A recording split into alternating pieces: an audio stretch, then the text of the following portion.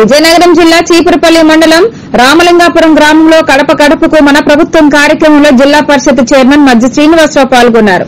ఇచ్చిన హామీలను మూడేళ్ళలోనే నూరు శాతం ప్రభుత్వం అమలు చేసిందని తెలిపారు. సీఎం జగన్మోహన్ రెడ్డి ఇచ్చిన ప్రతి మాట నెరవేర్చేందుకు ప్రజలందరి దీవెనలు ఉండాలని కోరారు.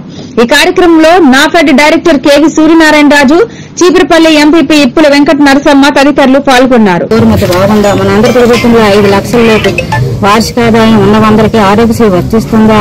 రాష్ట్ర జనాభాలో తొంభై శాతం మందికి ఈ స్కీమ్ వర్తిస్తుందా? రెండు వేల పద్నాలుగు పంతొమ్మిదితో పోలిస్తే రెట్టింపునకు పైగా పొజిషన్లు ఆరోగ్య ఆరోగ్యశ్రీలో చేర్చాం. ఆరోగ్యశ్రీ ఆసరా వంటి స్కీముల గురించి అప్పటి ప్రభుత్వం ఎప్పుడైనా